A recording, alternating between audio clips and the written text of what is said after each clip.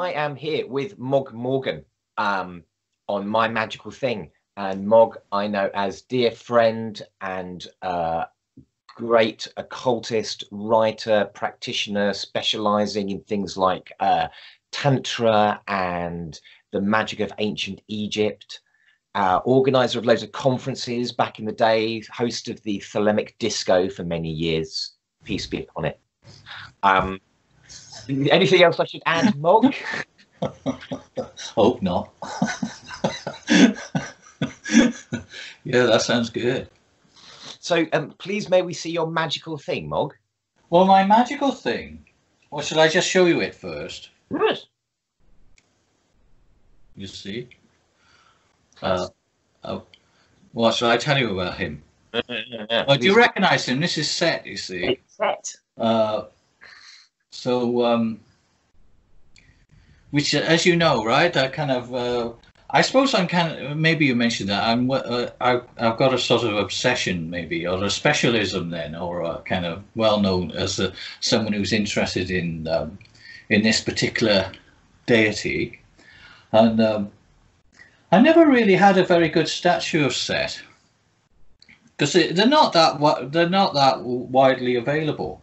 Mm. Uh, and as you know, a few years ago, as part of the research, about five years ago, I actually went to to Egypt um, to do some, yeah, just a visit and to kind of do start doing some research and whatever. Anyway, uh, all sorts of strange things happened, I suppose. Anyway, I met I met a very good friend there.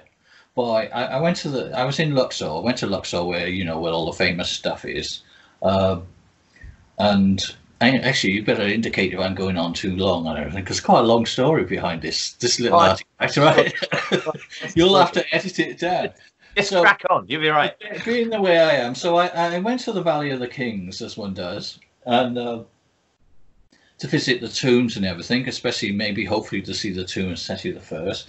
Anyway, I, I, by the time I got there, I kind of I didn't know anything about it really. By the time I got there, I didn't actually have any money. Uh, I'd left it all in a hotel and everything because I, I didn't realise that it's, it's actually quite quite a kind of complicated business. Anyway, so I, it wasn't just that I found out that, but I, I didn't want to go into the Valley of the Kings through this shopping mall, uh, which they sort of set up at the front. So I was look, I saw this gate. I thought, well, I'll go through that gate there. So what, which not supposed to. So I went to open this gate, and the, it wouldn't open. But the guy on the other side, oh, said, oh, hang on a minute, uh, and he opened the gate for me, which is quite nice. And that person turned out to be a very, very good friend. Uh, and I said, look, I, you know, the usual thing. I can't really afford to take on a guide and everything because I've left all the money back in the hotel. The taxi would come and get me. He said, oh, he didn't care. Uh, so uh, he showed me around the, the place. Anyway, eventually, I've been there, but been back several, many times since then. Uh, j- I managed to, to, to hold him. He's very, very nice. And uh, anyway, when you're a kind of magician and you're visiting a place uh, in, in like Egypt or whatever, you never know how much to tell people about your interest, do you? You don't know. I mean, if you say I'm into the god Set or something like that, well, they can, they, they've heard of they're going to think, oh, it must be a total weirdo, right? You don't even know if you can tell them that you're a pagan or a magician, let alone that you're into Set. But uh, so it took a while for we were friends for me to kind of he probably guessed anyway, but for, for the at first it was like, oh, you're a Sufi, aren't you? You must be a Sufi, which is a sort of blanket old term for people who've got slightly weird point of view. But in the end, they worked it out. Uh, and, and eventually, I admit, uh, kind of also admitted that I was into this god set, which of course, I suppose because we're talking about the Muslim community, uh, primarily in this area, you think that they would think, oh, he's the devil, isn't he? He's Iblis, the devil. You're a devil worshipper of some sort. But of course, even that, right? Even if you said it was Iblis, uh, they'd um, or Satan or Shaitan, right? They, they wouldn't think. It doesn't have quite the same vibe there as it does in, in in the West, to be honest. It's more of a generic thing, and in fact, they work with in that area, right? So this is the thing: the people who live on top of the tombs, basically, there's a village, an Arab village built on top of the tombs, and there have always been people who've lived on top of all the tombs in the Valley of the Kings, and basically they've uh, make their living uh, as they have for thousands of years by making making the things that go in the tombs, right? All the they make the tombs and they make all the knickknacks and everything, and they've carried on doing that for thousands of years.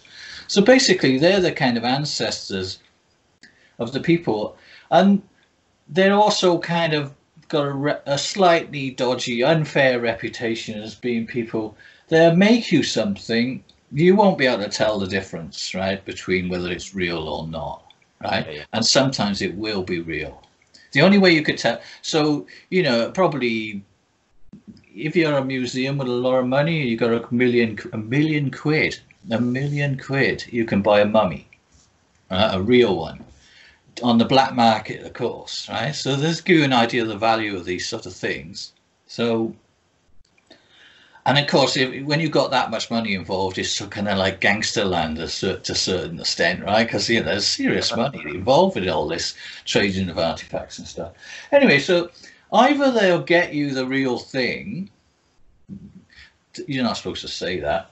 Uh, and if they're doing that, if they're looking for tombs, then they use, they invoke Shaitan to uh, a type of pharaonic Shaitan, a Shaitan from the pharaonic world to help them find buried treasure. And if they can't find it, then make it. Yeah, and they're and they're the same people. They know how to make this stuff. Anyway, so there he is. He's set. And there's a very famous book about the area uh, called uh, Tutankhamun's uh, neighbors. That, i.e., the people who live on top of his tomb now, even now. Uh, and it's and the, the guy that says show the craftsmen who, who make these things, and that it's made by the same guy. Um, so that's set. So he's he's he's complete. I think he's completely authentic. This thing is um, he's made of wood, incidentally. So it's wood carving, not the usual stone carving you get.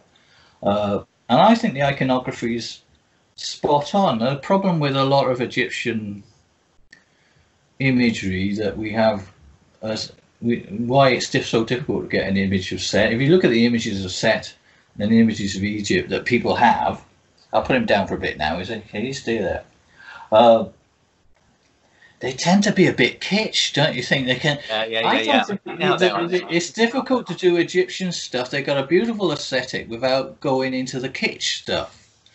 The Egyptians did kitsch themselves as well, right? So I, I think he's wonderful. But he's definitely not kitsch. Let's let's let's just hold him up again. Let's have one more close little look at yeah. Set. Thank you so much, Mogg, for sharing your magical thing. A little bit closer. Come here, come here with your lovely pointy square ears. Do you reckon he's a giraffe or do you reckon he's something else? Anyway, he's amazing. He's a monster of some, sort, some sort of doggy monstery type thing. I don't know what he is. Who knows? Mogg Morgan, thank you so much for sharing your amazing magical thing. Thank oh, you. Cool. All right, my friend. I'll see you later. Take care. Cheers. And have